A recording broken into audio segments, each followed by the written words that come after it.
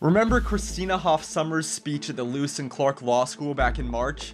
There were times when she literally just had to stand there and endure those cringeworthy chants, probably because you can't realistically communicate your argument while being drowned out by mindless slogans.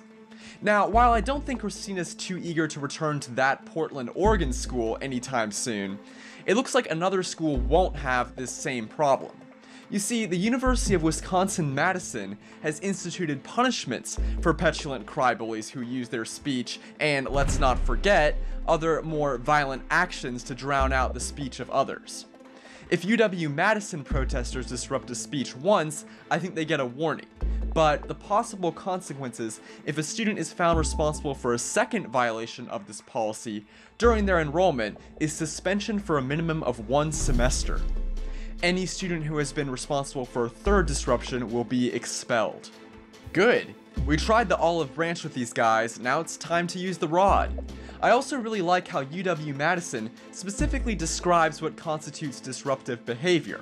For instance, noise that prevents speakers from being heard, pulling the fire alarm, as well as visual disruption like using signs to block people's view and turning off lights.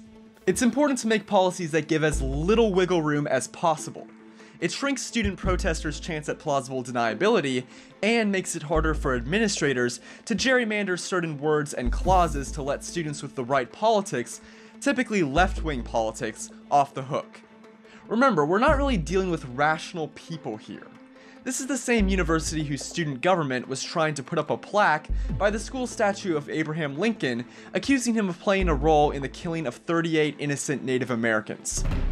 The UW-Madison chancellor rejected this request, saying Lincoln only approved death sentences for Native Americans who raped or killed. This is also the same school whose left-wing student groups eat up over $400,000 in mandatory student fees, while conservative groups get just a tad over $10,000. The same school where 700 students and professors complained about racism when police arrested a student accused of posting graffiti all over campus, and the same school that held a problem of whiteness class. So if you're going to reach out to UW-Madison, definitely give the school a pat on the back for this new policy. But along with holding their feet to the fire to enforce it, you might also want to mention that when it comes to the insidious cancer that is social justice, speech disruptions seem to be the symptom, not the cause. For Campus Unmasked, I'm Rob Shimshock. If you like this video and support our mission, please make sure to comment and subscribe. If something happens on your campus and you'd like us to investigate, send us details using the form on campusunmasked.com.